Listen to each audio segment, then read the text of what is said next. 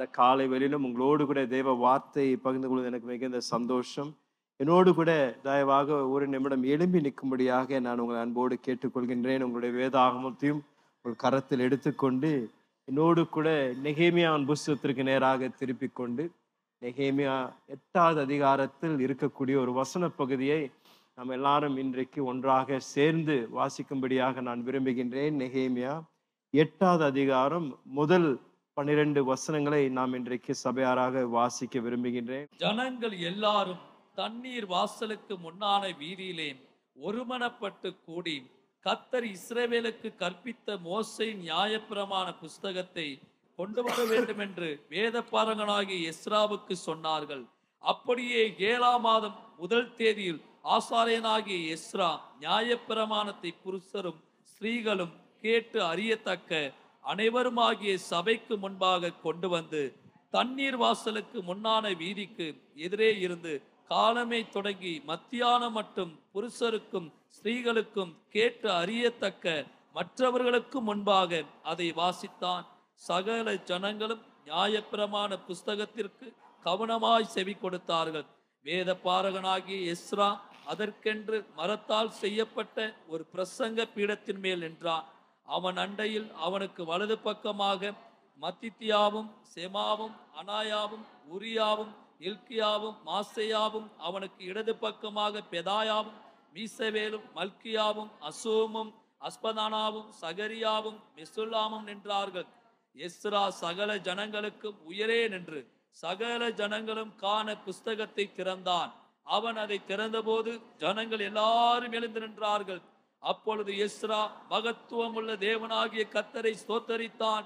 ஜனங்கள் எல்லாரும் தங்கள் கைகளை குவித்து அதற்கு மறுமொழியாக ஆமே ஆமேன் என்று சொல்லி குனிந்து முகம் குப்புற விழுந்து கத்தரை பணிந்து கொண்டார்கள்.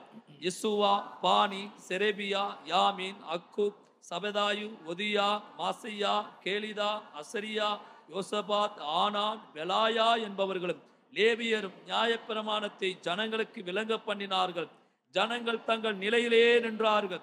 அவர்கள் தேவனுடைய நியாயப்பிரமாண புஸ்தகத்தை தீர்க்கமாக வாசித்து அர்த்தம் சொல்லி வாசித்ததை அவர்களுக்கு விளங்க பண்ணினார்கள். ஜனங்கள் எல்லாரும் நியாயப்பிரமாணத்தின் வார்த்தைகளை கேட்டபோது அழுதபடியால் திருசாதா எனப்பட்ட நெகமியாவும் வேதப்பாரனாகிய எஸ்ரா என்னும் ஆசாரியனும் ஜனங்களுக்கு விலக்கி காட்டின லேவியரும் சகல ஜனங்களை நோக்கி இந்த நாள் உங்கள் தேவனாகிய கத்தருக்கு பரிசுத்தமான நாள். நீங்கள் துக்கப்படவும் அளவும் வேண்டாம் என்றார்கள். பின்னும் அவன் அவர்களை நோக்கி நீங்கள் போய் கொழுமையானதை புசித்து மதுரமானதை குடித்து ஒன்றுமில்லாதவர்களுக்கு பங்குகளை அனுப்புங்கள். இந்த நாள் நம்முடைய ஆண்டவருக்கு பரிசுத்தமான நாள். விசாரப்பட வேண்டாம். கத்தருக்குள் மகிழ்ச்சியாயிருப்பதே உங்களுடைய பலன் என்றார். லேவியரும் ஜனங்களை எல்லாம் அமர்த்தி அழாதிருங்கள். இந்த நாள் பரிசுத்தமான நாள். விசாரப்பட வேண்டாம் என்றார்கள். அப்பொழுது ஜனங்கள் எல்லாரும் தங்களுக்கு அறிவிக்கப்பட்ட வார்த்தைகளை உணர்ந்து கொண்டபடியார் புசித்து குடிக்கவும் பங்குகளை அனுப்பவும் மிகுந்த சந்தோஷம் கொண்டாடவும் போனார்கள். ஆமே ராமேன் ஆமேன் சொல்லலாங்களா? நின்ற வண்ணமாக ஒரு நிமிடம் தலைகளை தாழ்த்தி என்னோடு கூட ஜபியுங்கள். அன்பின் பரலோக பிதாவே இந்த காலையிலும் உடைய பிரசனம் எங்கள் மத்தியில் இருப்பதற்காக நன்றி. எங்களுடைய இருதயங்களையும் உடைய மனதும் நாங்கள் திறந்து நீர் பேசுகின்ற வார்த்தையை நாங்கள் பெற்றுக்கொள்வோம். கேட்கவும் எங்கள் ஒவ்வொருவருக்கும் உதவி செய்யுங்க. தொடர்ந்து எங்களோடு கூட பேசுங்க இந்த காலையில். இயேசுவின் நாமத்தில் ஜெபிக்கின்றோம் பிதாவே. ஆமென். நல்ல அற்புதமான ஒரு வேத வசன பகுதியை வாசிப்பதை நாம் கேட்டோம். இந்த வசன பகுதியிலிருந்து பல அருமையான தேவ சத்தியங்களை நிச்சயம் நாம் கற்றுக்கொள்ளலாம். இந்த காலையில் உங்களோடு கூட நம்முடைய சபையின் தரிசனத்தை மீண்டும் உங்களுக்கு நான் ஞாபகப்படுத்தி நம்முடைய சபைக்கு தேவன் தந்திருக்கின்ற இந்த நான்கு வார்த்தைகளில் முதல் வார்த்தை உங்களுக்கு முன்பதாக வைத்து உங்களோடு கூட பேச விரும்புகிறேன். நாம் எல்லாரும் நன்கு அறிந்திருப்போம் என்று நான் விசுவாசிக்கின்றேன். நம்முடைய சபையின் தரிசன வார்த்தைகள் நான்கு வார்த்தைகள் முதலாவது வார்த்தை கட்டுதல் ஆசீர்வதித்தல் நேசித்தல் அனுப்புதல். இதுதான் நான்கு வார்த்தைகள். அதை நாம் இன்னும் விரிவாக்கு பண்ணணும் என்றால் சபையை கட்டுதல் சபையை ஆசீர்வதித்தல் சபையை நேசித்தல் சபையை அனுப்புதல். என்னோடு கூட இது சத்தமாக சொல்றீங்களா? முதலாவது சபையை கட்டுதல் சபையை ஆசீர்வதித்தல் சபையை நேசித்தல் சபையை அனுப்புதல். இந்த நான்கு வாக்கியம்தான் நீங்கள் கீழே போனாலும் எங்கே போனாலும் சபையில் பல இடங்களில் நாம் எழுதி வைத்திருக்கின்றோம். தேவன் நமக்கு இதை ஒரு தரிசனமாக தந்திருக்கின்றார் நம்மளுடைய சபையில். இந்த முக்கியமான நான்கு காரியங்களை நிறைவேறுதலை பார்க்கும்படியாக நாங்கள் நாம் விசுவாசிக்கின்றோம். அதற்காக நாம் முயற்சி செய்கின்றோம் செயல்படுகின்றோம். ஆகையால் இந்த காலையில் உங்களோடு கூட சபையை கட்டுதல் என்ற வார்த்தையை நான் உங்களுக்கு முன்பதாக மீண்டும் வைக்க விரும்புகின்றேன். சபையை கட்டுதல் என்று நான் சொல்லும் பொழுது வெறும் ஒரு கட்டடத்தை கட்ட கட்டுவதை குறித்து நாங்கள் பேசுவதில்லை. ஏனென்றால் சபையானது ஒரு கட்டடம் அல்ல. சபையானது நீங்களும் நானும் தான். நாம் ஒன்றாக கூடி வரும் பொழுது சபை கூடி வருகின்றது. இதுதான் தேவ வார்த்தையில இக்லீசியா என்ற வார்த்தை கிரேக்க வார்த்தை. பிரித்தெடுக்கப்பட்டவர்கள் அழைக்கப்பட்டவர்கள் என்று தேவ வார்த்தை நம்மை குறித்து பேசுகின்றது. ஆகையால் நீங்களும் நானும் ஒன்றாக கூடும் பொழுது நாம் சபையாக மாறுகின்றோம். ஆகையால் நாம் இந்த வார்த்தையை சபையை கட்டுதல் என்று நாம் சொல்லும் பொழுது ஏதோ கட்டடங்களை கட்டுவதை குறித்து நாம் பேசுவதில்லை. நம்மளுடைய தனிப்பட்ட ஆவிக்குரிய வாழ்க்கையை கட்டுதலை குறித்து தான் நாம் பேசுகின்றோம். சபையானது நாம் ஒன்றாக கூடி வரும் பொழுது இரண்டு முக்கியமான நோக்கங்கள் உண்டு. நாம் ஒவ்வொரு வாரமும் கூடி வருவதற்கு. முதல் நோக்கம் ஆண்டவரை நாம் இந்த இடத்தில் உயர்த்தி அவரை ஆராதிக்கின்றோம். இதுதான் முதல் பிரதான நோக்கம். இதுதான் இந்த காரணத்தினால தான் நம்ம ஒவ்வொரு தடையும் சொல்கிறோம் இந்த ஆராதனை நேரத்தை தவற விடாதீர்கள். ஏன்னா சபையின் ஒரு மிக முக்கியமான நோக்கம் தேவனை மகிமைப்படுத்தி அவருடைய நாமத்தை உயர்த்தி அவரை ஆராதித்து இந்த இடத்தில் அவருடைய நாமத்தை நாம் பிரஸ்தாவப்படுத்துவதுதான் தேவன் உங்களுக்கும் எனக்கும் கொடுத்திருக்கின்ற ஒரு மிகப்பெரிய ஒரு பொறுப்பு ஒரு நோக்கம் என்று நான் சொல்லுவேன். நம்முடைய சபையில ஆராதனைக்கு மிக முக்கியத்துவம் தருகின்றோம். ஏதோ ஜனங்கள் வருவதற்காக பாட்டை பாடி காத்திருப்பதற்காக நம் ஆராதனை நேரத்தை பயன்படுத்துவதில்லை. ஆராதனை நேரத்தில் தேவனை நாம் இந்த இடத்தில் உயர்த்தி அவருடைய நாமத்தை இந்த இடத்தில் பிரஸ்தாபப்படுத்தி ஆராதிக்கின்ற நேரத்தில் நாம் நம்மை தேவ பிரசனத்தில் நாம் நம்மை ஒப்பு கொடுத்து ஆண்டவரே எங்களுடைய இருதயங்களை ஆயத்தப்படுத்துங்க. எங்களுடைய செவிகளை உம்முடைய வார்த்தையை கேட்கும்படியாக எங்களை ஆயத்தப்படுத்துங்கள் என்று ஆராதனை நேரத்தில் நாம் அதற்காக ஆயத்தப்படுகின்றோம். இதுதான் முதல் நோக்கம். இரண்டாவது நோக்கம் நாம் ஒவ்வொரு முறையும் நாம் ஒன்றாக கூடி வரும் பொழுது ஆண்டவரை இந்த பூமியில் நாம் எப்படி பிரதிபலிக்கணும் என்று தேவ வார்த்தையிலிருந்து கற்றுக்கொள்ளும்படியாக நாம் ஒன்றாக வருகின்றோம். சபை கூடி வருதல் இது இரண்டு முக்கியமான பங்கு. முதல் ஆண்டவரை உயர்த்துகின்றோம். இரண்டாவது ஆண்டவர் நம் மூலமாக எப்படி மகிமைப்பட முடியும் என்று நாம் தேவ வார்த்தையிலிருந்து கற்றுக்கொள்கின்றோம். ஆகையால் நான் சொல்லுவேன் நாம் கட்டுவதற்காக கட்டப்படுகின்றோம். என்னங்க? கட்டுவதற்காக கட்டப்படுகின்றோம். இங்கே இருக்கின்ற ஒவ்வொருவரையும் தேவன் பயன்படுத்தி அவருடைய ராஜ்யத்தை கட்ட தேவன் விரும்புகின்றார். உங்களை கொண்டு என்னை கொண்டு இந்த இந்திய தேசத்திலையும் கோயம்புத்தூர் பட்டணத்துல தேவ ராஜ்யத்தை தேவன் கட்ட விரும்புகின்றார். ஆனால் நம்மை அவருடைய ராஜ்யத்தை கட்டுவதற்கு பயன்படுத்துவதற்கு முன்பதாக நமக்குள் தேவன் கட்ட வேண்டியது பல காரியங்கள் உண்டு. நமக்குள் தேவன் எழுப்ப வேண்டிய பல காரியங்கள் உண்டு. அதுதான் நான் இன்றைக்கு கட்டுவதற்காக கட்டப்படுகின்றோம் என்ற வார்த்தையை நான் இன்றைக்கு பேச விரும்புகின்றேன். ஒவ்வொரு முறையும் நாம் ஒன்றாக கூடி வரும் பொழுது இது நம்முடைய சபையின் ஒரு மிக முக்கிய பங்கு என்று நான் சொல்வேன். நம்முடைய சபை வேத வார்த்தைக்கு மிக அதிக முக்கியத்துவம் தருகின்ற ஒரு சபை. இந்த சபை வேத வார்த்தைகளை போதிக்கின்ற ஒரு சபை. கலப்படம் இல்லாமல் ஜனங்களுடைய காதுகளுக்கு இனிமையாக இருக்கும்படியாக இங்கே வசனம் போதிக்கப்படவில்லை. தேவ வார்த்தை நம்மை மாற்றும்படியாக நம்மை மறுரூபப்படுத்தும்படியாக நம்முடைய வாழ்க்கையில் தேவன் தம்முடைய நோக்கத்தை நிறைவேற்றும்படியாக ஒவ்வொரு வாரமும் இங்கே தேவனுடைய வார்த்தை போதிக்கப்படுகின்றது. என்னுடைய விருப்பம் பெத்தேல் மாநகர பேராலயத்தினுடைய விசுவாசிகள் தேவ வார்த்தைக்கு மிக அதிக முக்கியத்துவம் தருவது அவசியம். தேவ வார்த்தையில் நாம் கட்டப்படுவது அவசியம். தேவ வார்த்தை நம்மோடு கூட ஒவ்வொரு நாளும் இடைபடுவது அவசியம். தேவ வார்த்தைக்கு நாம் முக்கியத்துவம் கொடுத்து ஒவ்வொரு முறையும் நாம் ஒன்றாக கூடி வரும் பொழுது நாம் ஒரு எதிர்பார்ப்போடு கூட நாம் தேவன் நம்மோடு கூட பேசுவார் என்று ஒரு மிகப்பெரிய ஒரு வாஞ்சையோடு கூட நாம் வருவது மிக அவசியம். ஒரு ஆமேன் சொல்லலாங்களா? பக்கத்தில் இருக்கிறவங்க பார்த்து சொல்லுங்க தேவ வார்த்தை உங்களை கட்டி எழுப்பணுங்க. தேவ வார்த்தை உங்களோடு கூட ஒவ்வொரு முறையும் இடைபடுவது மிக அவசியம். அப்போ சில புஸ்தகத்தில் இருபதாவது அதிகாரத்தில் முப்பத்தி இரண்டாவது வசனத்தில் தேவ வார்த்தை விதமாக கூறுகின்றது. வாசிங்க இப்பொழுதும் சகோதரரே நீங்கள் பக்தி விருத்தி அடையவும் நீங்கள் பக்தி விருத்தி அடையவும் பரிசுத்தமாக்கப்பட்ட அனைவருக்குள்ளும் பரிசுத்தமாக்கப்பட்ட அனைவருக்குள்ளும் உங்களுக்கு சுதந்திரத்தை கொடுக்கவும் உங்களுக்கு சுதந்திரத்தை கொடுக்கவும் வல்லவராயிருக்கிற தேவனுக்கும் அவருடைய கிருபையுள்ள வசனத்துக்கும். உங்களை ஒப்பு கொடுக்கிறேன் ஆமென். அப்போஸ் நான் தான் சொல்றாரு நீங்கள் பக்தி விருத்தி அடையும்படியாக தேவனுடைய பரிசுத்த செயல் உங்கள் வாழ்க்கையில இன்னும் நிறைவேறும்படியாக நான் உங்களை ஒப்பு கொடுக்கின்றேன் என்று தேவ வார்த்தை சொல்லுகின்றது. நாம் ஒவ்வொருவரும் இந்த தேவ வார்த்தைக்கு ஒரு எதிர்பார்ப்போடு கூட நாம் கூடி வருவது மிக அவசியம். எழுப்புதலுக்காக நாம் ஜெபிக்கின்றோம். எழுப்புதலுக்காக நாம் எதிர்பார்க்கின்றோம். ஆனால் நான் சொல்லுவேன் எழுப்புதலுக்கு ஒரு மிக முக்கியமான ஒரு அடையாளம் இருக்கும் என்றால் தேவ வார்த்தைக்கு ஒரு மிகப்பெரிய ஒரு பசிதாகம் வரும் பொழுது எழுப்புதல் அந்த இடத்தில் துவங்கி விட்டது என்று நாம் பார்ப்போம்.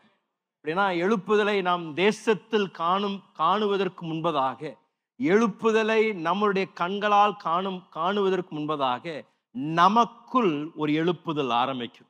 நமக்குள் தேவ வார்த்தையின் மேலும் தேவ நோக்கங்கள் மேலும் ஒரு மிகப்பெரிய ஒரு வாஞ்சையும் ஒரு மிகப்பெரிய ஒரு தாகமும் இருந்தால்தான் தேவன் நம்மை கொண்டு இந்த தேசத்திலையும் இந்த பட்டணத்திலையும் ஒரு எழுப்புதலை நிச்சயம் கொண்டு வருவார். இன்றைக்கு நாம் வாசித்த வசன பகுதி நெகேமியா புஸ்தகத்தில் நெகேமியாவுடைய நாட்களில் நடந்த ஒரு மிக முக்கியமான ஒரு சம்பவம். நெகேமியாவுடைய புஸ்தகத்தின் பின்னணியை நாம் எல்லாரும் நன்கு அறிந்திருக்கின்றோம். நெகேமியா என்ற மனிதன் ஒரு மிகப்பெரிய ராஜாவுக்கு பான பாத்திரக்காரனாய் இருந்தான். அவன் வேலையை செய்து கொண்டிருந்த பொழுது எருசலேமின் மதில்கள் பாலாய் கடந்ததை குறித்து அவன் கேள்விப்பட்டவுடன் அவனுடைய இருதயம் அதற்காக மிக பாரப்படுகின்றது. ஐயோ ஆண்டவருடைய பட்டணம் அதோடைய மதில்கள் பாலாய் கிடக்கின்றதே என்று நெகேமியா ஆண்டவரிடத்துல கதறி ஜெபிக்க ஆரம்பிக்கின்றான். ஜெபிக்க ஜெபிக்க அந்த பாரம் அவனுக்குள் பெருகுகின்றது. அவன் ஜெபிக்கும் பொழுது ஆண்டர் அவன இடத்துல சொல்லக்கூடிய காரியம் உன்னுடைய ஜெபத்திற்கு நீதான்ப்பா பதில். நான் உன்னையே அனுப்பி விடுகின்றேன் என்று ஆண்டவர் நெகேமியா என்ற மனிதனை எருசலேமுக்கு அனுப்பி எருசலேமில் பாலாய் கடந்திருந்த அந்த அலங்கத்தை மீண்டும் கட்டும்படியாக தேவன் இந்த மனிதனை பயன்படுத்துகின்றார். நெகேமியா எருசலேமுக்கு போன பொழுது இஸ்ரேவேல் ஜனங்கள் சிதறடிக்கப்பட்டிருந்தார்கள். ஒரு ஒருமனமாக இல்லை. எல்லாரும் அவங்க அவங்க த தன்னுடைய வேலைகளை பார்த்து கொண்டிருந்தாங்க ஆனால் நெகேமியா அந்த பட்டணத்திற்கு கடந்து வந்ததிலிருந்து ஜனங்களை ஒன்று சேர்த்து ஜனங்களுக்கு இந்த தரிசனத்தை கொடுத்து மீண்டும் தேவனுடைய ஆலயமும் தேவனுடைய பட்டணமும் மீண்டும் அது பிரஸ்தாபமா இருக்கணும் என்று ஜனங்களுக்கு சவால் கொடுத்த பொழுது ஜனங்கள் எல்லாரும் ஒன்று சேர்ந்து நெகைமையோடு கூட சேர்ந்து அந்த பாலாய் கடந்திருந்த அந்த அந்த அந்த மதிலை மீண்டும் கட்டி எழுப்புகின்றார். ஐம்பத்தி இரண்டு நாட்களில் அந்த மதிலை கட்டி எழுப்புகின்றார். அந்த மதிலை கட்டி எழுப்பின பின்பதாக இஸ்ரேவேல் தேசத்தில் ஒரு மாபெரும் எழுப்புதலை தேவன் துவங்குகின்றார். இந்த மதிலை கட்டி எழுப்பின பின்பதாக இஸ்ரேவேல் ஜனங்கள் எல்லாம் எல்லாரும் ஒரு மனமாக ஒருமித்து ஒரு இடத்திற்கு கூடி வந்தார்கள் என்று நாம் பார்க்கின்றோம். யோசியா ராஜாவின் நாட்களில் தான் அப்படிப்பட்ட ஒரு எழுப்புதல் இஸ்ரேல் தேசத்தில் இருந்தது. இருநூறு ஆண்டுகளுக்கு மேலாக இஸ்ரேல் தேசத்தில் ஒரு அசைவில்லாமல் தேவ சந்திப்பில்லாமல் ஜனங் ஜனங்கள் வனாந்திரத்தில் இருந்தது போல இருந்தார்கள். ஆனால் மீண்டும் நேமியா இந்த மதிலை கட்டின பின்பதாக ஒரு மிகப்பெரிய ஒரு எழுப்புதல் அந்த இடத்தில் துவங்கியதை நாம் பார்க்கின்றோம். நீங்கள் நெஹேமியா எட்டாம் அதிகாரம் ஒன்பதாம் அதிகாரம் பத்தாம் அதிகாரத்தை வாசித்தீர்கள் என்றால் இஸ்ரேல் தேசத்தில் தேவன் செய்த இந்த மகா பெரிய எழுப்புதலை குறித்து இன்னும் நீங்கள் அதிகமாக நீங்கள் அறிந்து கொள்ளலாம். நமக்கு நேரமில்லை என்னுடைய விருப்பம் அந்த முழு அதிகாரத்தை வாசிப்பது தான் ஏன்னா அவ்வளோ அருமையான காரியங்கள் அங்கே நடந்ததை தேவ வார்த்தை நமக்கு குறிக்கின்றது. ஆனால் இன்றைக்கு வாசித்த அந்த வசன பகுதியிலிருந்து உங்களுக்கு இஸ்ரேல் ஜனங்கள் மத்தியில் நடந்த அந்த மூன்று காரியங்களை உங்களுக்கு முன்பதாக நான் நிறுத்த விரும்புகின்றேன். முதலாவது நாம் பார்க்கக்கூடியது இந்த வசன பகுதியில எல்லாரும் ஒரு இடத்தில் ஒன்றாக கூடினார்கள் என்று தேவ வார்த்தை சொல்லுகின்றது. முதல் வசனத்தை வாசிங்களேன் ஜனங்கள் எல்லாரும் ஜனங்கள் எல்லாரும் தண்ணீர் வாசலுக்கு முன்னான வீதியிலே தண்ணீர் வாசலுக்கு முன்னாலே ஒருமனப்பட்டு கூடி. ஒருமனப்பட்டு கூடினார்கள் என்று தேவ வார்த்தை சொல்லுகிறது. அப்படின்னா இஸ்ரேவேல் ஜனங்கள் இந்த தண்ணீர் வாசல் அண்டே கூடின பொழுது ஏதோ ஒரு ஐநூறு பேர் இல்லை ஒரு ஆயிரம் பேர் குறித்து அங்கே எழுதப்படவில்லை. வேத பண்டிதர்கள் கருதுகின்றார்கள் இருபதாயிரத்திலிருந்து முப்பதாயிரத்திற்கு மேலாக இஸ்ரேவேல் ஜனங்கள் அந்த இடத்தில் ஒன்றாக கூடினார்கள் என்று அவர்கள் நம்புகின்றார். அப்படின்னா இது ஒரு சாதாரண ஒரு கூடுகை இல்லை. ஒரு மகா பெரிய ஒரு சேனையாக திரள் ஜன கூட்டமாக ஒரு இடத்தில் அவர்கள் கூடினார்கள் என்று நாம் பார்க்கணும் அப்படின்னா நம்ம கோயம்புத்தூர் பட்டணத்துல இருக்கிற அந்த நேரு ஸ்டேடியத்தை எடுத்தீங்கன்னா அந்த ஸ்டேடியத்தை நீங்க ரெண்டு மூணு முறை நிரப்புனீங்கன்னா எவ்வளோ ஜனங்கள் இருப்பார்களோ அப்படிப்பட்ட திரள் கூட்டமான ஒரு ஜனம் அங்கே கூடினார்கள் என்று தேவ வார்த்தை நமக்கு காமிக்கின்றது. நாம் கவனிக்க வேண்டியது அவர்கள் ஒன்றாக கூடினார்கள் என்று நாம் பார்க்கின்றோம். இது ஒரு மிக முக்கியமான ஒரு காரியம். ஏனென்றால் கோவிட் நாட்களுக்கு பின்பதாக பல தேவ பிள்ளைகள் இந்த மிக முக்கியமான சத்தியத்தை மறந்துவிட்டார்கள். இந்த ஒன்றாக கூடுவது மிக ஒரு மிக முக்கியமான ஒரு காரியம். சபை ஒன்றாக கூடும் பொழுது ஒரு மிக முக்கியமான ஒரு காரியம் நடப்பிக்கின்றது என்பதை மறந்து விட்டார்கள் ஏனென்றால் நாம் ஒன்றாய் கூடுவது ஒரு சாதாரணமான ஒரு காரியம் அல்லங்க. நாம் ஒன்றாக கூடுவது ஏதோ ஒரு சமுதாய கூடுகை அல்ல. ஏதோ ஒரு பொழுதுபோக்குக்காக நாம் கூடுவதில்லை. ஏதோ ஒரு அரசியல் கூடுகை அல்ல. நம்மளுடைய கூடுகைக்கு ஒரு மிகப்பெரிய முகாந்திரம் உண்டு. நம்மளுடைய கூடுகைக்கு மிகப்பெரிய ஒரு முக்கியத்துவம் உண்டு. தேவ ஜனங்கள் ஒரு இடத்தில் ஒன்றாக கூடுவார்கள் என்றால் அந்த இடத்தில் தேவன் அங்கே பிரசனமாக இருப்பேன் என்று வாக்கு பண்ணியிருக்கின்றார். ஆகையால் நாம் ஒரு இடத்தில் ஒன்றாக கூடுவோம் என்றால் அது ஒரு தேசத்தை மாற்றக்கூடிய ஒரு இடமாய் மாறுகின்றது. பட்டணத்திற்கு ஆசீர்வாதத்தை கொண்டு வருகின்ற ஒரு இடமா இருக்கின்றது. ஜனங்களுடைய வாழ்க்கையில் அற்புதங்களை கொண்டு வருகின்ற ஒரு இடமா இருக்கின்றது. நீங்கள் இந்த காலில் இந்த ஆராதனையில் உட்கார்ந்து கொண்டு இருக்கின்ற உங்களை பார்த்து நான் சொல்லுகின்றேன் நீங்களும் நானும் ஒரு சாதாரணமான கூடுகைக்கு வரலைங்க. நீங்களும் நானும் ஒன்றாக கூடும் பொழுது கிறிஸ்துவின் சரீரம் இந்த இடத்தில் ஒன்றாக கூடியிருக்கின்றது. இங்கே எப்படி நாம் கூடியிருக்கின்றோமோ உலகம் எங்கும் பல ஆயிரக்கணக்கான லட்சக்கணக்கான தேவ பிள்ளைகள் கூடுகின்ற நிமித்தம் இந்த தேசமும் இந்த உலகமும் இந்த பட்டணமும் இந்த இந்த இடங்களும் ஆசீர்வதிக்கப்பட்டிருக்கின்றது. நீங்களும் நானும் ஒன்றாக கூடியிருக்கின்றனால கோயம்புத்தூர் பட்டணம் ஆசீர்வதிக்கப்பட்டிருக்கும். நீங்களும் நானும் கூடுறனால இந்திய தேசத்தின் மேல தேவன் அவர் இறக்கம் பாராட்டுவார். தேவன் நீங்களும் நானும் கூடியிருக்கிற நிமித்தம் உங்கள் குடும்பத்தையும் நம்மளுடைய நம்மளுடைய தெருவில் வசித்திருக்கின்ற குடும்பங்களையும் தேவன் நிச்சயம் ஆசீர்வதி ஆசீர்வதிப்பார் நீங்களும் நானும் சாதாரணமாக கூடவில்லை. இது தேவ ஜன கூட்டம் ஒன்றாக கூடும் பொழுது ஒரு தேசத்தை மாற்றக்கூடிய இடமாய் மாறுகின்றது. பெத்தேல் என்பது தேவனுடைய வீடுங்க. தேவன் இந்த இடத்தில் சந்திக்கின்ற ஒரு இடம். இந்த இடத்தில் வந்திருக்கின்ற ஒவ்வொருவரும் மேலும் தேவன் அவருடைய கிருபையும் அவருடைய தயவும் நமக்கு காமிக்கின்ற ஒரு இடம். இது ஒன்றாக கூடி வருவதை விட்டுவிடக்கூடாது. தான் எபிரேயர் பத்தாம் அதிகாரம் இருபத்தி ஐந்தாம் வசனத்துல தேவ வார்த்தை சொல்லுகின்றது. நாம் ஒன்றாக கூடி சபை கூடி வருவதை விட்டுவிடக்கூடாது. ஒருவருக்கு ஒருவர் புத்தி சொல்லுவது. அதுவும் நாள் சமீபமா இருப்பதை பார்க்கும் பொழுது இன்னும் அதிகமாக நாம் கூடி வரணும் என்று தேவ வார்த்தை நமக்கு ஞாபகப்படுத்துகின்றது. அப்படி என்றால் சபை கூடி வரும் பொழுது ஆண்டவர் சபைக்கு ஒரு மிகப்பெரிய ஒரு அதிகாரத்தை தந்திருக்கின்றார். நீங்களும் நானும் இந்த பட்டணத்தில் தேவனுடைய பிரதிநிதிகளாக இருக்கின்றோம். நீங்களும் நானும் தேவ ராஜ்யத்தின் பிரதிநிதிகளாக இன்றைக்கு ஒன்றாக கூடி வந்திருக்கிறோம். பக்கத்தில் இருக்கிறவங்க தொட்டு சொல்லுங்க நீங்க சாதாரணமான ஆள் இல்லைங்க. நீங்க தேவ ராஜ்யத்தின் பிரதிநிதியாக இருக்கின்றீங்க. இந்த பட்டணத்திற்கும் உங்க தெருவுக்கு நீங்க இன்னைக்கு நம்ம கோயம்புத்தூர் பட்டணத்துல இந்த வார்டு கவுன்சிலர்னு சொல்லி சொல்றாங்கல்ல. உங்க உங்களுடைய தெருவில் பிரச்சனை இருந்ததுன்னா குப்பைகள்லாம் எடுக்காமல் போயிட்டாங்கன்னா நிறைய இடத்துல குப்பையெல்லாம் எடுக்காமல் குவிஞ்சு குவிஞ்சு இருக்கு. அது குப்பை குவிஞ்சோடனே என்ன பண்றோங்க? அந்த வார்டு கவுன்சிலர் யாரு அப்படின்னு தேடுறோம். வார்டு கவுன்சிலருக்கு ஃபோன் பண்ணி ஏங்க இப்படி இருக்குங்களே ஏதாவது ஒன்று பண்ணுங்கன்னு சொல்லி வார்டு கவுன்சிலர் இடத்துல நம்ம வாக்குவாதம் பண்ணுறோம் நான் சொல்றேன் ஆவிக்குரிய மண்டலத்தில் நாம் பார்த்தோம் என்றால் நீங்களும் நானும் தேவனால் நியமிக்கப்பட்ட வார்டு கவுன்சிலர் இந்த பட்டணத்துல. உங்களை ஆண்டவர் சரியான இடத்தில் உங்களை குடியிருக்க வைத்து நீங்கள் அங்கே குடியிருக்கின்ற நிமித்தம் சாத்தானுடைய செயல்களை அந்த இடத்தில் நிறுத்தும்படியாக சாத்தானுடைய ராஜ்யம் அங்கே முன்னேறும் முன்னேறாத வடிக்கு படிக்கு ஆண்டவர் உங்களை ஒரு இடத்துல வைத்திருக்கின்றார். அப்படின்னா யோசித்து பாருங்களேன் நீங்களும் நானும் கோயம்புத்தூர் பட்டணத்திலிருந்து பல மூலைகளிலிருந்து ஒரு இடத்தில் கூடினோம் என்றால் இந்த காலை வேலையில நீங்களும் நானும் ஒன்றாக கூடியிருக்கின்றபடியால் இந்த கோயம்புத்தூர் பட்டணத்தின் மேல் தேவன் தயவை பாராட்டி ஆசீர்வதித்து நம்மளுடைய கூடுகை நிமித்தம் தேவன் இந்த பட்டணத்திற்கு அவருடைய கிருபையும் அவருடைய ஆசீர்வாதத்தையும் கட்டாயம் கட்டளிடுவார் எப்படி பாஸ்டர் அப்படி சொல்றீங்க? அப்படின்னு கேட்கலாம். ஆண்டவர் சபைக்கு மிகப்பெரிய அதிகாரத்தை கொடுத்துருக்குறாங்க. ஆண்டவர் சொன்னாரு நீங்க எதை கட்டினாலும் அது கட்டப்படும்.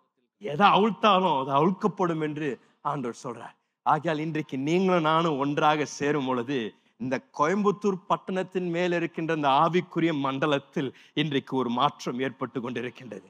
நீங்களும் நானும் சாதாரணவர்கள் அல்ல. இந்த சபையாக ஒன்றாக கூடுவது ஒரு மிகப்பெரிய ஒரு நோக்கம் உண்டு. நம்மை கொண்டு தேவன் இந்த பட்டணத்துல பல அற்புதமான காரியங்களை செய்ய தேவன் சித்தம் கொண்டிருக்கின்றார். ஆகையால் நாம் எவ்வளோ அதிகமாக கூடுகின்றோமோ அவ்வளோ அதிகமாக இந்த பட்டணம் ஆசீர்வதிக்கப்படும். இந்த பட்டணத்தின் மேலே தேவ தாய் உண்டாகும். உங்கள் தெருக்கள் மேலும் வேலைகள் மேலும் நம்முடைய எல்லா பட்டணத்தின் எல்லா துறைகள் மேலும் தேவனுடைய ஆசீர்வாதம் தங்கியிருக்கும். நெகேமியா எட்டாம் அதிகாரத்துல முதல் காரியம் நம்ம பார்க்கக்கூடியது அவர்கள் எல்லாரும் ஒரு இடத்தில் கூடி வந்தார்கள். இரண்டாவது நாம் அங்கே பார்க்கக்கூடியது அவர்கள் தேவ வார்த்தையை கேட்க பசி உள்ளவர்களாய் இருந்தார்கள். என்னங்க? தேவ வார்த்தையை கேட்க அவங்களுக்குள்ள ஒரு பசி இருந்தது. அப்படின்னா இவர்கள் எல்லாம் சும்மா ஏதோ நம்ம எல்லாம் கூடி சும்மா ஜாலியா இருக்கலாம் என்று கூடல அவருக்குள்ள ஒரு பசி அவளுக்குள்ள ஒரு தாகம். ஒரு மனப்பட்டு கூடினார்கள் என்று தேவ வார்த்தை சொல்லுங்க. அப்படின்னா அவங்களுடைய ஒரு மனம் என்னங்க? ஒரு மனம் வந்து தேவன் எங்களோடு கூட பேசணும். தேவ வார்த்தையை நாங்கள் கேட்கணும். தேவ வார்த்தை எங்களோடு கூட இடைபடணும் என்று அவர்களுக்குள் இருந்த ஒரு மன வாஞ்சையின் நிமித்தம் எல்லாரும் ஒன்றாக கூடினார் இன்றைக்கும் அப்படிதான். நாம் எல்லாரும் இன்றைக்கு ஒன்றாக வந்திருப்பதற்கு ஒரு மிக முக்கியமான ஒரு நோக்கம் தேவன் எங்களோடு கூட பேசும். தேவ வார்த்தையை நாங்கள் கேட்கணும். அதனால தான் அவங்க எஸ்ரா இடத்துல போய் எஸ்ரா தேவனுடைய வார்த்தையை கொண்டு வாங்க. தேவனுடைய வார்த்தை எங்களுக்கு வாசியுங்கள் என்று அவர்கள் மிக பலவந்தம் படுத்தி எஸ்ராவை அவர்களுக்கு தேவ வார்த்தை வாசிக்கும்படியாக அவர்கள் அழைக்கின்றார். அவ்வளோ திரளான ஜனக்கூட்டம். எஸ்ராக்கு ஒரு மேடையை எழுப்பி ஏன்னா ஜனங்கள் எல்லாரும் அதை பார்க்கணும் அதை கேட்கணுன்றக்காக அவருக்கு ஒரு மேடையை எழுப்பி அவர் தேவ வார்த்தையை வாசிக்கின்றதே. நாம் பார்க்கின்றோம். தேவ வார்த்தைக்கு நமக்கு ஒரு வாஞ்சை இருப்பது அவசியம். நாம் இன்றைக்கு கூடி வரும் பொழுது ஒன்றாக கூடி வரும் பொழுது நான் சொல்லுவேன் ரெண்டு காரியம் அவசியங்க. நாம் கூடி வரும் பொழுது ஒன்று எதிர்பார்ப்பு. இரண்டாவது ஒரு பசி. என்னங்க? ஒரு எதிர்பார்ப்பு ஒரு பசி. இந்த எதிர்பார்ப்பு என்பது ஒரு மிக முக்கியமான ஒரு ஆவிக்குரிய ஸ்தானம் என்று நான் சொல்லுவேன். யாரெல்லாம் ஒரு எதிர்பார்ப்போடு கூட தேவ பிரசனத்திற்குள் வருகின்றார்களோ அவர்கள் நிச்சயம் வந்த வண்ணமாக திரும்பி செல்ல மாட்டார்கள்.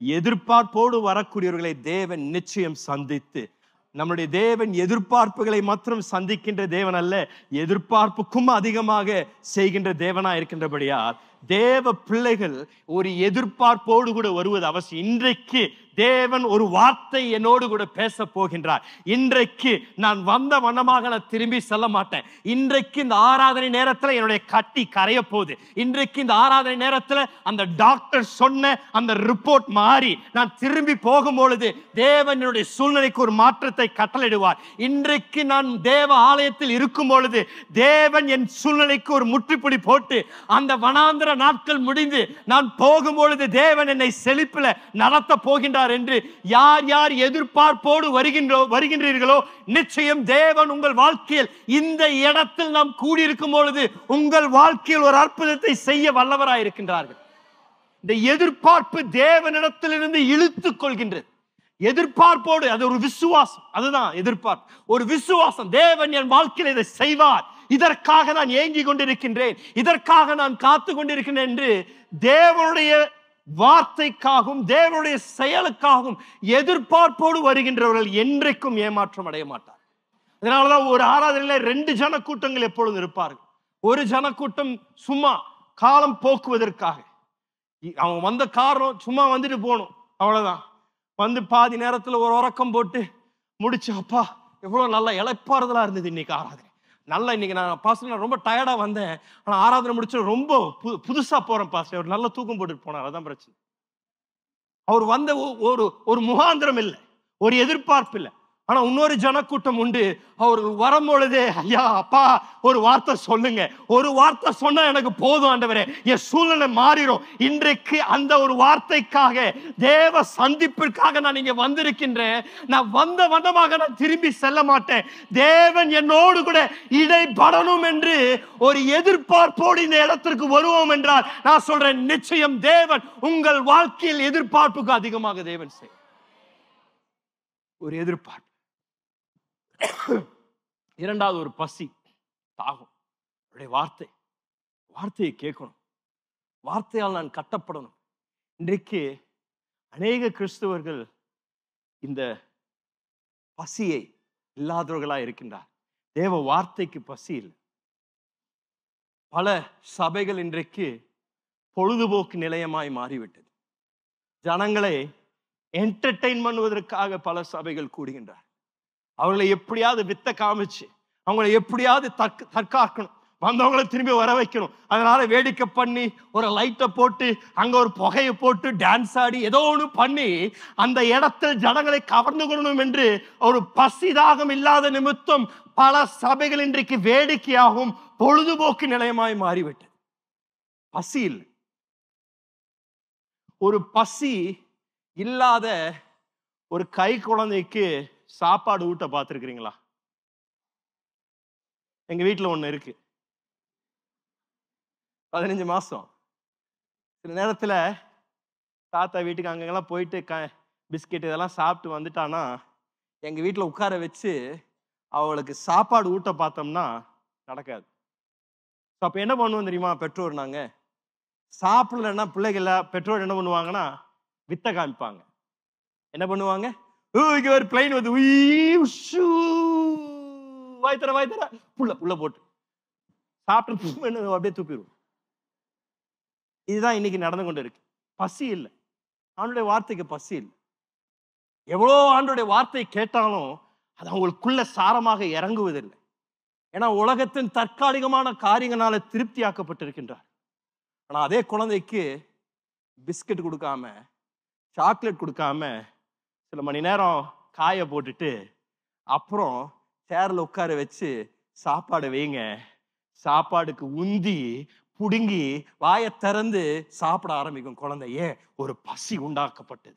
நான் சொல்றேன் என்றைக்கு சபையின் ஜனங்கள் தற்காலிகமான காரியங்கள் மூலமாக திருப்தி ஆகாமல் தேவனுக்காக அவர்கள் பசிதாகமாக அவர்களை தேவனை தேட ஆரம்பிக்கின்றார்களோ நிச்சயம் தேவன் நம்மோடு கூட சந்தித்து அவருடைய வார்த்தை நம்மளை திருப்தி ஆக்கி நம்மளை நடத்தக்கூடிய நாட்களுக்கு தேவன் நிச்சயம் கொண்டு வருவார். இன்றைக்கு அதுதாங்க சபையில தேவை. தேவனுடைய வார்த்தைக்கு ஒரு பசி. ஆண்டவரே இன்றைக்கு நீங்க எங்களோட பேசணும். இன்றைக்கு எப்படியாவது உங்களுடைய வார்த்தை என்னுடைய வாழ்க்கையை மாற்றணும். உங்களுடைய வார்த்தையை கேட்கும்படியாக நான் வாஞ்சியோடு வந்திருக்கிறேன் என்று எப்பொழுது சபை ஒன்றாக கூட ஆரம்பிக்கின்றதோ அப்பொழுது தேவ வார்த்தை அவளை நோக்கி வந்து தேவன் பேச ஆரம்பிப்பார். தேவன் காரியங்களை மாற்ற ஆரம்பிப்பார். பசி தாகம் இருக்கும் பசி இல்லாத இடத்துல தேவன் செயல்பட மாட்டார். ஆனா பசி இருக்கிற இடத்துல கட்டாயம் ஆண்டவர் திருப்தியாக்க அவர் வல்லவராய் இருக்கின்றார். பேதுரு இதான் எழுதுகின்றாரோ? ஒன்று பேதுரு ரெண்டாம் அதிகாரம் முதல் ஐந்து வசனங்களை வாசிங்களேன். இப்படி இருக்க கர்த்தர் தயவுள்ளவர் என்பதை நீங்கள் ருசி பார்த்தது உண்டானால் சகல துர்க்குணத்தையும் சகலவித கபடத்தையும் வஞ்சகங்களையும் பொறாமைகளையும் சகலவித புறங்குறுதலையும் ஒழித்துவிட்டு நீங்கள் வளரும்படி புதிதாய் பிறந்த குழந்தைகளைப் போல திருவசனமாகிய களங்கமில்லாத ஞானப்பாலின் மேல் வாஞ்சையாயிருங்கள். என்னங்க சொல்லிருக்கு புதிதாய் பிறந்திருக்கின்ற குழந்தைய போல திருவசனமாகிய களங்கமில்லாத களங்கமில்லாத ஞானப்பாலின் மேல் வாஞ்சையாயிருங்கள். வாஞ்சையா இருங்கள் என்று தேவ வார்த்தை சொல்லுகின்றது. இப்படி வாஞ்சியா இருக்கும் பொழுது பேதுரு சொல்றாரு வாசிங்க நான்காவது வசனம் மனுஷரால் தள்ளப்பட்டதாயினும் மனுஷரால் தள்ளப்பட்டிருந்தாலும் தேவ வசனத்தின் மேல் வாஞ்சியா இருந்தீங்கன்னா என்ன செய்வார் என்று பேதுரு எழுதுகின்றார் வாசிங்களேன். தேவனால் தெரிந்து கொள்ளப்பட்டதும் தேவனால் தெரிந்து கொள்ளப்பட்டதும். விலையேற பெற்றதுமாயிருக்கிற விலையேறப்பட்டதுமா இருக்கின்ற ஜீவனுள்ள கல்லாகிய அவரிடத்தில் சேர்ந்தவர்களாகிய நீங்களும் ஜீவனுள்ள கற்களைப் போல ஆவிக்கேற்ற மாளிகையாகவும் இயேசு கிறிஸ்து மூலமாய் தேவனுக்கு பிரியமான ஆவிக்கேற்ற பலிகளை செலுத்தும்படிக்கு பரிசுத்த ஆசாரிய கூட்டமாகவும் கட்டப்பட்டு வருகிறீர்கள். ஒரு ஆமேன் சொல்லலாமா? எங்க பேதுரு என்ன சொல்றாருன்னா நீங்க ஆண்டுடைய வார்த்தைக்கு தாகத்தோடு ஒரு குழந்தை எப்படி பாலுக்கு ஏங்குகின்றதோ அப்படி தேவ வார்த்தைக்கு நீங்கள் பசி தாகத்தோடு ஏங்குனீங்கன்னா நீங்க மறக்கப்பட்டிருக்கலாம் தள்ளப்பட்டிருக்கலாம் எல்லாராலும் புறக்கணிக்கப்பட்டிருக்கலாம். ஆனா வசனத்தின் மேல வாஞ்சியா இருந்தீங்கன்னா உங்களை ஆண்ட ஒரு ஜீவ கல்லாக மாற்றி உங்களை வைத்து ஒரு ஜீவ கட்டடத்தை கட்டி உங்களை ஒரு மாளிகையாய் தேவன் மாற்றுவேன் என்று ஆண்டவர் வாக்கு தருகிறார். அப்படின்னா வெறுமையான வாழ்க்கையாய் இருக்கலாம். ஆனா அந்த வசனத்தின் மேல ஒரு ஆசையும் ஒரு ஒரு ஒரு வாஞ்சியும் வந்துருச்சுன்னா உங்க வாழ்க்கையை தேவன் ஒரு மாளிகையாய் மாற்றி மற்றவர்கள் பார்த்து அசந்து போகின்ற விதத்தில் தேவன் உங்கள் வாழ்க்கையை கட்டி எழுப்புவார் என்று தேவ வார்த்தை வாக்கு பண்ணுகிறது இது நம்ம சபையில பல முறை நான் சாட்சியாக கேட்டிருக்கிறேன். பலர் சபையில எழும்பி நான் இந்த சபைக்கு வந்த பொழுது நான் ஒன்றும் இல்லாம வந்தேன். நான் தெருவில் படுத்து கொண்டிருந்தேன். ஆனா இந்த சபைக்கு வர ஆரம்பித்தேன். சபைக்கு வந்து தேவ வார்த்தையை கேட்க ஆரம்பித்தேன். தேவ வார்த்தைக்கு நான் செவி கொடுத்தேன். தேவ வார்த்தைக்கு நான் கீழ்ப்படிய ஆரம்பித்தேன். இன்றைக்கு எனக்கு ஆண்டவர் ஒரு வீடை மாத்திரம் தரல. வியாபாரத்தை தந்து குடும்பத்தை தந்து எங்களை ஆசீர்வாதமாக இந்த பட்டணத்தில் வைத்திருக்கின்றார் என்று ஒருவரில் பலர் சாட்சியை எழுப்பி சொல்லியிருக்கிறது காரணம் இந்த வசனம் தான் யாரெல்லாம் அவருடைய வார்த்தையின் மேல் பசிதாகமா இருக்கின்றார்களோ உங்களை ஜீவ கற்களாய் தேவன் மாற்றி இந்த சபையை கட்டுவதற்கும் உங்களை பயன்படுத்துவார். இந்த பட்டணத்திலையும் தேவன் உங்களை உயர்ந்த இடங்களில் வைக்க வைக்க வல்லவராயிருக்கின்றார் மூன்றாவதாக அங்க நடந்தது அவர்கள் தேவ வார்த்தைக்கு பரியுத்திரம் அளித்தார்கள். தேவ வார்த்தைக்கு அவர்கள் பதிலளித்தார் அப்படின்னா இந்த வார்த்தை வெறும் அவர்கள் கேட்கறது மாத்திரம் இல்லை அவர்களுக்குள்ளான ஒரு ஒரு ஒரு தேவனுடைய வார்த்தைக்கு ஒரு ரெஸ்பான்ஸ் அவருக்குள்ளாக பிறப்பிக்கப்பட்டது. ரெண்டு விதமாக இங்கே இங்கே நம்ம வாசிக்கிறோம். ஒன்று வெளிப்படையானது இன்னொன்று உள் உள்ளானது. ரெண்டுமே அவளுக்குள் காணப்பட்டதை நாம் வாசிக்கிறோம். முதலாவது நம்ம பார்க்கக்கூடியது இந்த வசனங்கள் நம்ம வாசித்ததில் தேவ வசனம் வாசிக்கப்படும் பொழுது எல்லாரும் எழும்பி நின்னார்கள். இன்றைக்கி நம்ம செய்தது போல அந்த வசனத்திற்கு அவ்வளோ கனத்தை தருகின்றார். ஐயோ தேவ வார்த்தை இங்கே வாசிக்கப்படுகின்றது என்று எல்லாரும் எழும்பி நின்று அந்த வார்த்தைக்கு கனத்தை செலுத்தினார்கள் என்று நாம் பார்க்கிறோம். அது மாத்திரமல்ல அந்த வார்த்தை வாசிக்கப்படும் பொழுது அவர்கள் வெறும் அதை கேட்டுக்கிட்டு அப்படியே சும்மா வேடிக்கை பார்க்கல.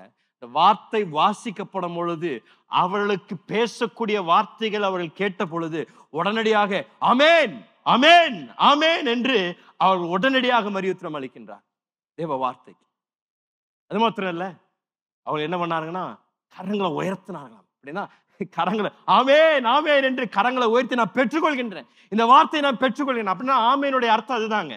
அப்படியே என் வாழ்க்கையில் ஆக கடவுதா அதான் ஆமேன் சொல்றோம் ஆண்டவரே இந்த வார்த்தையை நான் கேட்கும் பொழுது நான் அதற்கு ஆமேன் என்று சொல்கிறேன். ஏன்? இது சொல்லப்பட்ட வார்த்தை என்னுடைய வார்த்தையில நிறைவே என்னுடைய வாழ்க்கையில நிறைவேறுவதாக என்று நான் அதற்கு ஆமோதிக்கின்றேன் என்று ஆமேன் என்று சொல்கிறேன்.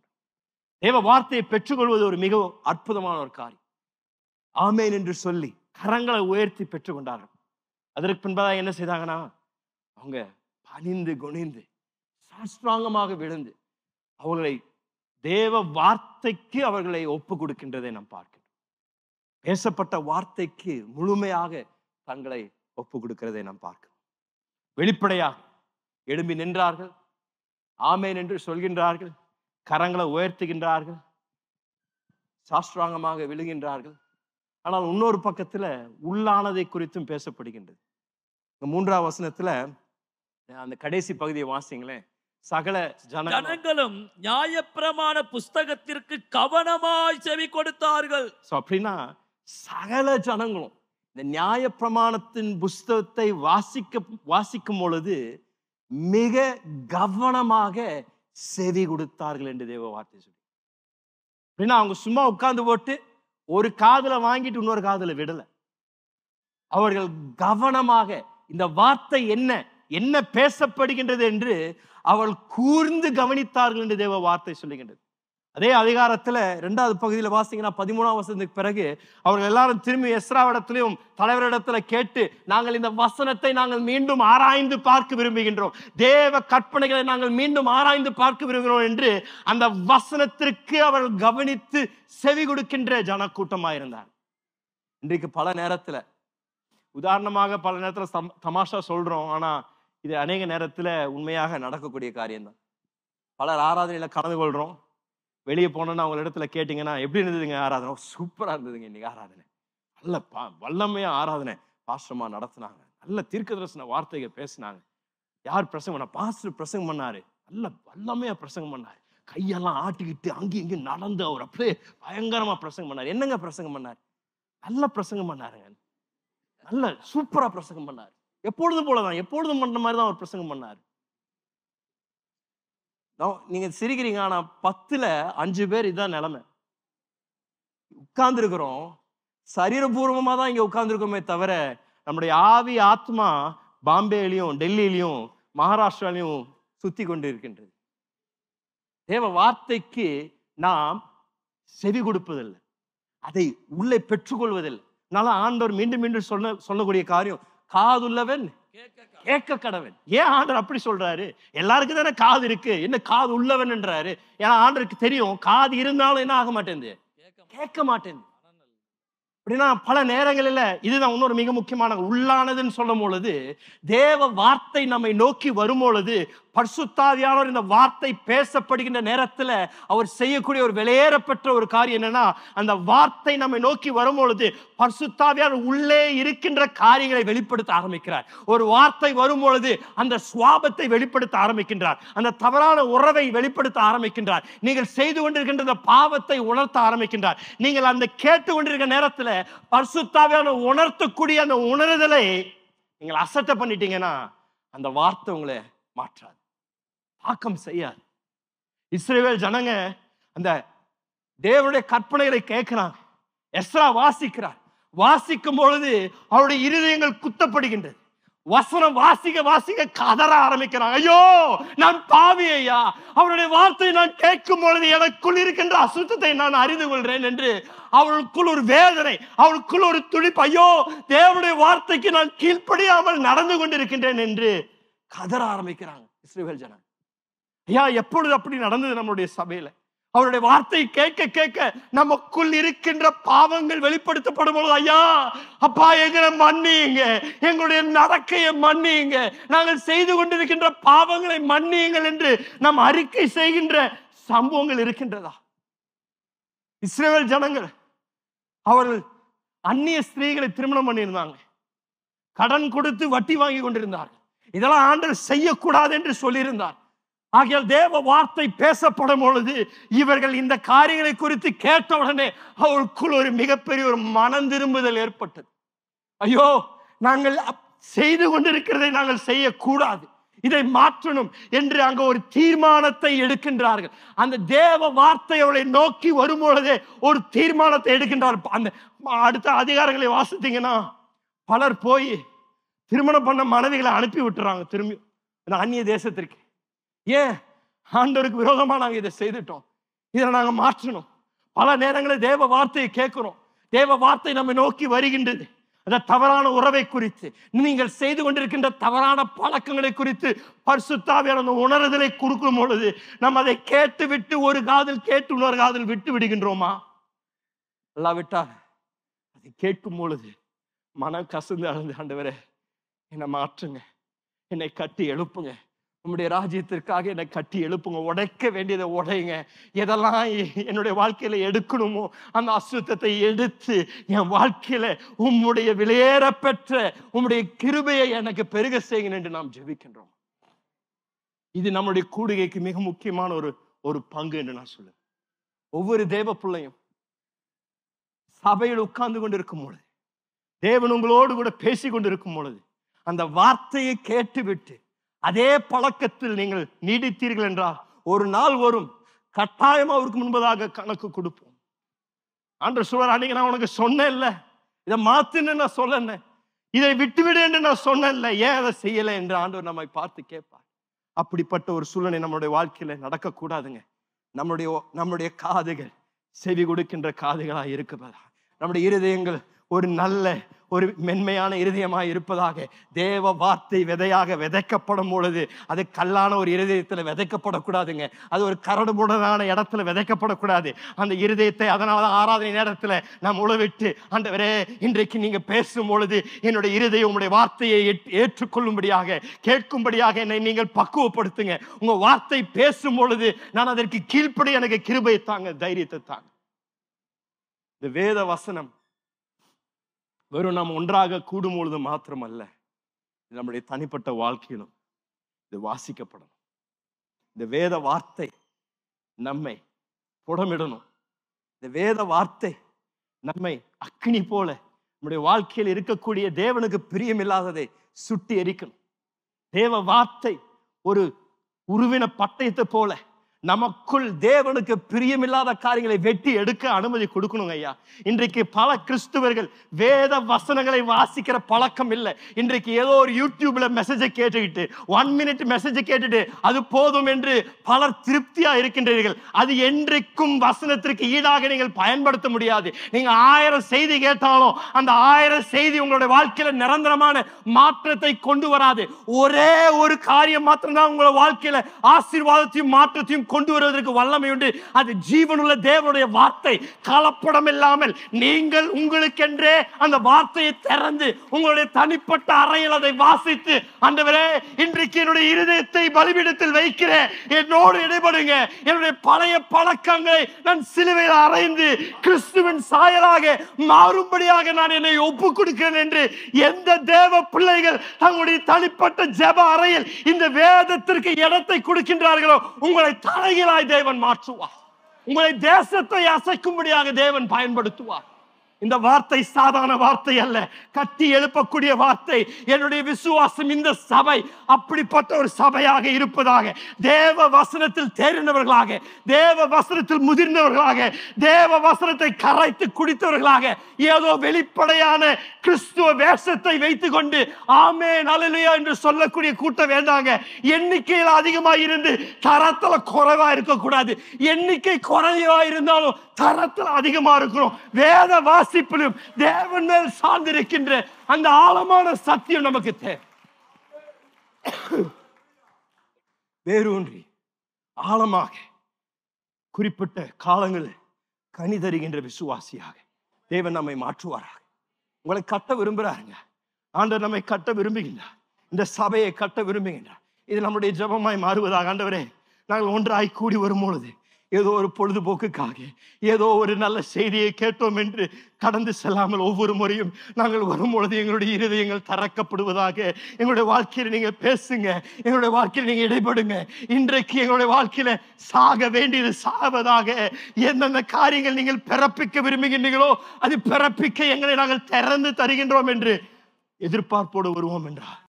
நம்முடைய கூடுகை அற்புதமான கூடுகையாய் இன்றைக்கு உங்களுக்கு முன்பதாக சபையின் இந்த தரிசனத்தின் ஒரு மிக முக்கியமான பங்கை நான் முன்பதாக வைத்திருக்கின்றேன். கட்டப்படுதல். சபையை கட்டப்படுதல். நீங்கள் நாம் எல்லாரும் கட்டப்படுவது அவசியம். விசுவாசத்தில் கட்டப்படுவது. தேவனுடைய அறிவில் கட்டப்படுவது. தேவனுடைய அந்த வெளியேற பெற்ற கிருபைகள் கட்டப்படுவது. இந்த காலையில் நீங்கள் இந்த இடத்தை விட்டு போவதற்கு முன்பதாக நோடு கூட நீங்கள் சேர்ந்து ஜெபிக்க விரும்புங்க ஆண்டவரே எனக்கு இந்த வேத வசனத்தின் மேலே ஒரு வாஞ்சையும் ஒரு தாகத்தையும் தாங்க ஆண்டவரே. ஒவ்வொரு நாளும் இந்த வேதத்தை வாசித்து வேதத்தில் இருக்கின்ற வார்த்தைகள் என்னோடு கூட பேசுவதாக தேவன் என்னோடு கூட இடைபடுவாராக. என்னோடு கூட ஒரு நிமிடம் கரங்களை உயர்த்தி ஜெபிக்கின்றீர்களா? ஆண்டவரே எங்கள் சபையை ஒரு வேதத்தை நேசிக்கின்ற ஒரு சபையாக மாற்றுங்க ஆண்டவரே. எங்களுக்குள் அந்த வாஞ்சையை அதிகப்படுத்தி தாங்க பரிசுத்தாவியானவரே வேத வார்த்தையின் மேல் எங்களுடைய வாழ்க்கைகள் கட்டப்படுவதாக. சிறு பிள்ளையிலிருந்து வயது முதிர்ந்த ஒரு வரைக்கும் எங்களுடைய சபையில் இந்த தேவ வார்த்தைக்கு முக்கியத்துவம் தருவார்களாக. இந்த காலை வேலை நான் ஜெபிக்கின்ற ஆண்டவரே இந்த தேவ வார்த்தையின் மேல் ஒரு பசி தாகத்தை எங்கள் மேலே நீங்கள் போடுவதற்காக நன்றி ஆண்டவரே. எங்கள் சபையை நீங்கள் கட்டி எழுப்புங்க. எங்கள் விசுவாச குடும்பங்களை கட்டி எழுப்புங்க. ஆண்டவரே பிள்ளைகளை கட்டி எழுப்புங்க. தம்பதிகளை கட்டி எழுப்புங்க ஆண்டவரே. எங்கள் சபையில் இருக்கின்ற தேவ பிள்ளைகள் விசுவாசத்தில் முதிர்ந்தவர்களாக இருப்பார்களாக. விசுவாசத்தில் பலன் கொண்டவர்களாக இருப்பார்களாக. ஆழமான வேரூண்டி ஆண்டவரே தேவ வார்த்தையில் அவர்கள் நாட்டப்பட்டவர்களாக இருப்பார்களாக. என்ன ஜெபிக்கின்ற ஆண்டவரே இந்த காலை வேலையில் பெத்தேல் மாநகர பேராலயத்தில் உள்ள எல்லா விசுவாச குடும்பங்களுக்குள்ளும் அந்த தேவ வார்த்தையின் மேலே ஒரு பசி தாகத்தை உருவாக்கி தாங்க நாங்கள் ஜெபிக்கின்ற ஆண்டவர். இந்த காலையில் ஆண்டவரே இந்த ஆராதனைக்கு வந்திருக்கின்ற ஒவ்வொருவரோடு கூட இடைப்படுங்க ஆண்டவர். உங்களுடைய வார்த்தை எங்களை புடமிடட்டும். உங்களுடைய வார்த்தை எங்களுக்கு எங்களுடைய வாழ்க்கையில மாற்ற வேண்டிய காரியங்களை வெளிப்படுத்துவதாக. நாங்கள் அதை பார்க்கும் பொழுது கேட்கும் பொழுது அதை கேட்டுவிட்டு சும்மா நடந்து விடாமல் அதன்படி மாற்றங்கள் செய்யும்படியாக எங்களுக்கு கிருபியும் எங்களுக்கு ஞானத்தையும் தாங்க நான் ஜெபிக்கின்ற ஆண்டவர். நன்றி ஆண்டவர். ஒருவேளை இந்த காலை வேளையில் இன்னும் இயேசு கிறிஸ்துவை உங்களுடைய சொந்த இரட்சகராக ஏற்றுக்கொள்ளாமல் இந்த பாவ மன்னிப்பின் நிச்சயத்தை உங்கள் வாழ்க்கையில் பெற்றுக்கொள்ளாமல் இந்த நித்திய வாழ்வின் நம்பிக்கை உங்களுக்கு இன்னும் வராமல் இருந்ததுன்னா உங்களுக்காக நான் விசேஷமாக ஜெபிக்க விரும்புகின்றேன். இயேசு ஒருவரே பாவங்களை மன்னிக்கக்கூடிய அதிகாரம் பெற்றவர். ஏனென்றால் அவர் ஒருவரே பாவத்திற்கு பலியாக மாறி நம்முடைய பாவங்களை அவர் சுமந்து நம்முடைய பாவங்களுக்காக தன்னுடைய ஜீவனை தந்து நம்மை மீண்டும் பிதாவாகிய தேவனோடு கூட உறவை ஏற்படுத்தும்படியாக இயேசு தம்முடைய வாழ்வை நமக்கு பலியாக தந்தார். ஆண்டவராக இயேசு சொன்னார் நானே வலியும் சத்தியமும் ஜீவனுமாய் இருக்கிறேன் என்று சொன்னார். உங்களுடைய வாழ்க்கைக்கு உண்மையான ஆசீர்வாதத்திற்கு காரணம் இயேசு ஒருவரே. உங்கள் வாழ்க்கையில் உண்மையான மாற்றத்தை கொண்டு வர வல்லமை பெற்றவர் இயேசு ஒருவர். இதுவரைக்கும் இயேசு கிறிஸ்துவின் பாவ மன்னிப்பின் நிச்சயத்தை உங்கள் வாழ்க்கையில் பெற்றுக்கொள்ளாம இருந்தீங்கன்னா உங்களுக்காக நாங்கள் விசேஷமாக ஜெபிக்க விரும்புகின்றோம். ஆண்டுடைய வாழ்க்கையை மாற்றணும் பாஸ்டர். சாபத்தை முறிக்கணும். நான் வந்த வண்ணமாக நான் திரும்பி செல்ல விரும்பலை என்று நீங்கள் சொல்கின்ற யாராக இருந்தாலும் உங்களுக்காக நான் ஜெபிக்க விரும்புகிறேன். அன்பின் பிதாவை இந்த காலையில் வா- தேவ வார்த்தையை கேட்டு என் வாழ்க்கை இருக்கின்ற வண்ணமாக இருக்கக்கூடாது. ஆண்டவர் என் வாழ்க்கையை மாற்றணும். பாவம் மன்னிப்பு நிச்சயம் எனக்கு வேண்டும் என்று சொல்லி வந்திருக்கின்ற ஒவ்வொருவருக்காக நாங்கள் ஜெபிக்கின்ற ஆண்டவரே. இன்றைக்கு இருள் நீங்குவதாக. சாபம் முறிக்கப்படுவதாக இன்றைக்கு ஒரு தெய்வீக சந்திப்பு ஏற்படுவதாக என்று நான் ஜெபிக்கின்ற ஆண்டவரை இந்த காலை வேலையில் அவர்களை ஒவ்வொருவரையும் நீங்கள் தொட்டு ஆசீர்வதித்து அவருடைய வாழ்க்கையை மாற்றுங்க என்று நான் ஜெபிக்கின்ற இன்றைக்கு முன்பதாக வந்திருக்கிற ஒவ்வொருடைய வாழ்க்கையும் இயேசுவின் நாமத்தினால ஆசீர்வதிக்கப்பட்டிருப்பதாக. இன்றைக்கு உம்முடைய ஜனங்களையும் ஆசீர்வதிங்க ஆண்டவரே. இந்த ஜூலை மாதம் முழுவதும் எங்களோடு கூட இருந்து தொடர்ந்து எங்களை வெளி வழிநடத்துங்க. உம்முடைய நாமத்திற்கு மகிமை கொண்டு வருகின்ற விதத்தில் நாங்கள் வாழ எங்கள் ஒவ்வொருவருக்கும் உதவி செய்யுங்க. இயேசுவின் விலையேறப்பட்ட நாமத்தில் ஜெபிக்கின்றோம். நல்ல பிதாவே. ஆமே நாமே நல்ல கரங்களை தட்டி தேவனுடைய நாமத்திற்கு மகிமை. கத்தர் உங்களை ஆஸ்வதிப்பாராக. சமாதானத்தோடு தேவ கிருபிகளோடு கடந்து செல்லுங்கள். தேவன் உங்களோடு கூட இருப்பாராக. ஆமே இயேசு கிறிஸ்து. சொல்லுங்க அந்த நாமம் சொன்னா ரட்சிப்புண்டுங்க விடுதலை உண்டுங்க. அற்புதம் உண்டுங்க. ஆசீர்வாதம் உண்டுங்க. பேய்கள் அலறி ஓடுங்க. நரகமே நடுங்குங்க. எல்லாமே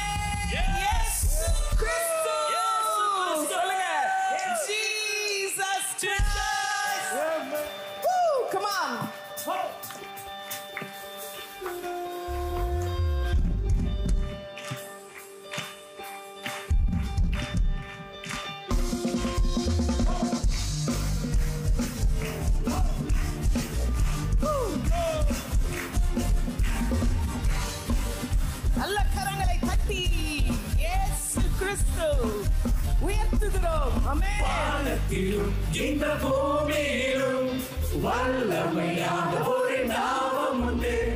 வானத்திலும் இந்த பூமியிலும் வல்லமையான ஒரு நாமம் உண்டு.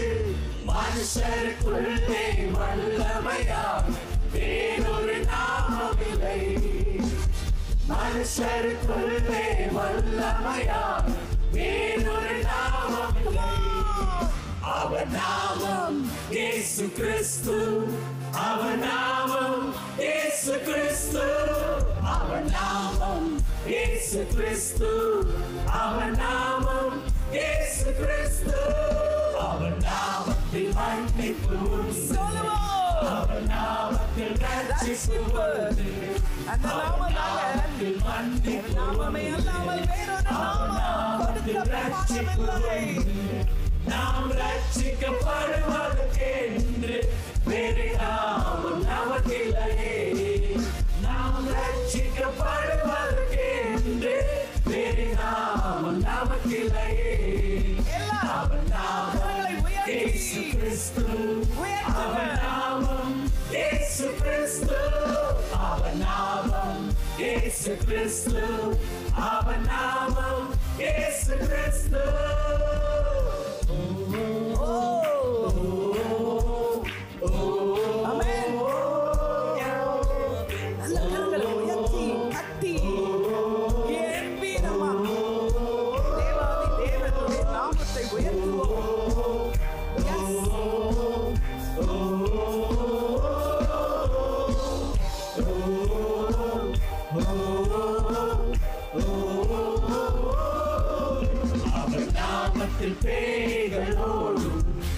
நல்ல செய்வினை காட்டுகள் புரியும் அவன் நாமத்து பேய்கள் ஓடும் எல்லா செய்வினை காட்டுகள் புரியும் நாம் அதை அடைவதற்கு வேலை நாம் நமக்கில்லையே நாம் அதை அடைவதற்கு வேலை நாம் நமக்கில்லையே அவர் நாமம் இயேசு கிறிஸ்து அவர் நாமம் இயேசு கிறிஸ்து அவர் நாமம்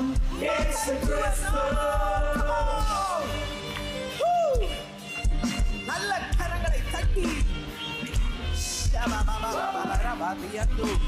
அற்புதங்கள் நடக்கும் வாழ்க்கையில் இருக்கிற தீமைகள் எல்லாம் நன்மையாய் மாற்றும் நாமம் அமே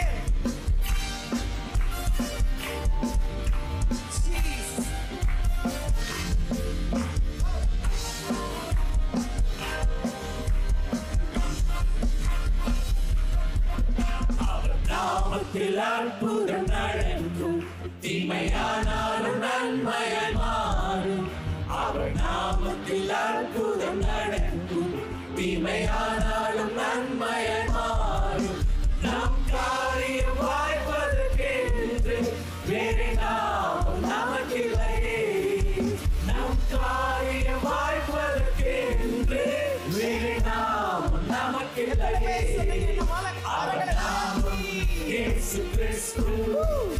நாமம் இயேசு கிறிஸ்து அவர் நாமம் இயேசு கிறிஸ்து அவர் நாமம் இயேசு கிறிஸ்து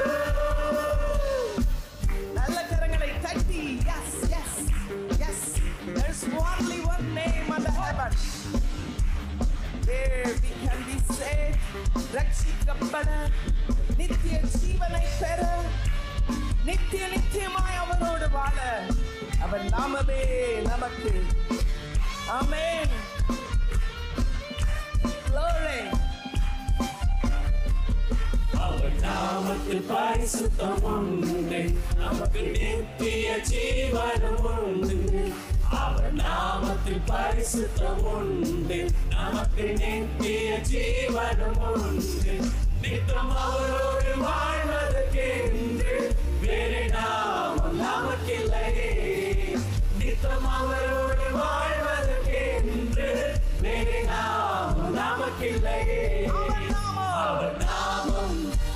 యేసు క్రీస్తు అవర్ నామం యేసు క్రీస్తు అవర్ నామం యేసు క్రీస్తు అవర్ నామం యేసు క్రీస్తు అవర్ నామం యేసు క్రీస్తు అవర్ నామం యేసు క్రీస్తు అవర్ నామం యేసు క్రీస్తు అవర్ నామం యేసు క్రీస్తు வானத்திலும் இந்த பூமி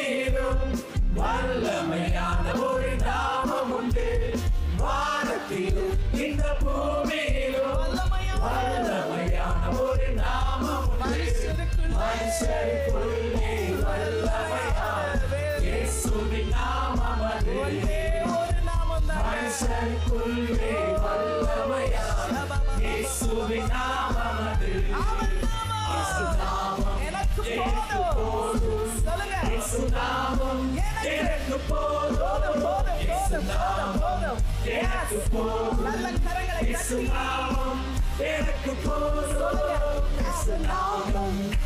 Erek the forum, Erek the forum, Erek the forum, Erek the